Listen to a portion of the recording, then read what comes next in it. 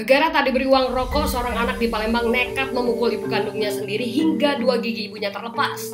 Akibat ulahnya ini, pihak keluarga melaporkan kejadian dan berujung pelaku ditangkap petugas unit PPA Polres Tabes Palembang.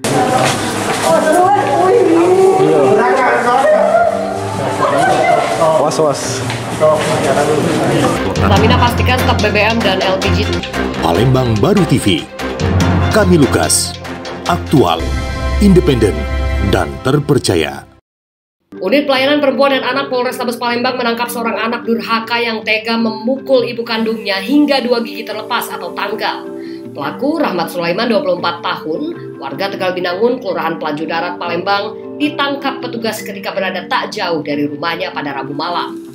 Di hadapan petugas, pelaku mengakui telah memukul korban Milawati, ibu kandungnya sendiri, karena kesal dengan ibunya yang tak mau memberikan uang rokok sebesar Rp6.000. Dengan tangan kosong, pelaku memukul ke wajah ibu kandungnya sebanyak lima kali hingga gigi ibunya tanggal.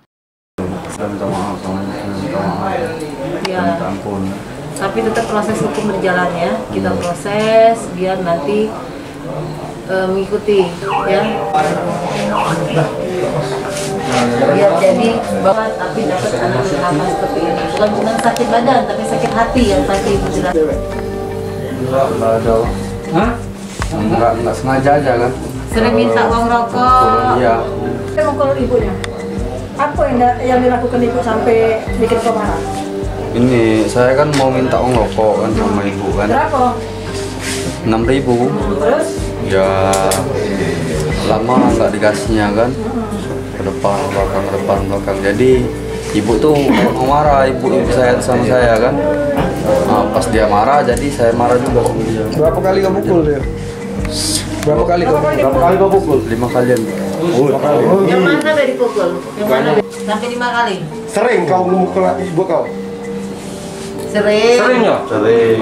enggak juga Bu. kadang saya ini apa marah aja kan Nipam kan ya? Kalau mau nipam ya? Ibon, Enggak, ini saya minum-minum tua itu Ibu kami sering Apa kau minta duit? Kau minta duit, nak stop Bapaknya masih ada ya bapak? Penganiayaan terhadap ibu kandung ini dibenarkan oleh Kasat Reskrim Polrestabes Palembang yang menjelaskan jika anaknya memang temperamental dan sering kali emosi. Jika keinginannya tidak dituruti, sebelum memukul ibunya, pelaku juga sempat bertengkar dengan adik perempuannya. Uh, memukul ibunya di bagian wajah sehingga uh, sangat keras pukulannya sehingga patah gigi ibunya ini dua. Di bagian memang mukulnya pakai tangan keras sekali. Uh, sehingga hal tersebut siang ibu juga langsung buat laporan kakaknya ada juga buat laporan juga uh, sehingga kami tangani dan kami langsung amankan uh, pelaku inisialnya uh, RS ya RS inisialnya. Uh, umurnya 24 tahun. Untuk itu kita uh, kenakan dia pasal 44 ayat 1 dan ayat 2 Undang-Undang 23 tentang uh, kekerasan penghapusan kekerasan dalam keluarga yang dilakukan oleh anak kandung terhadap ibunya. Untuk ancaman sendiri karena ini dia juga dewasa ancaman uh, di atas lima tahun. Ini kan hal Akibat ulahnya yang telah memukul ibu kandungnya sendiri, pelaku dapat dijerat dengan Undang-Undang Perubahan Kekerasan dalam Rumah Tangga dengan ancaman kurungan di atas lima tahun penjara. Dari Palembang, Sumatera Selatan, reporter Jane, kameraman M. Febrian, Palembang Baru TV, mengabarkan.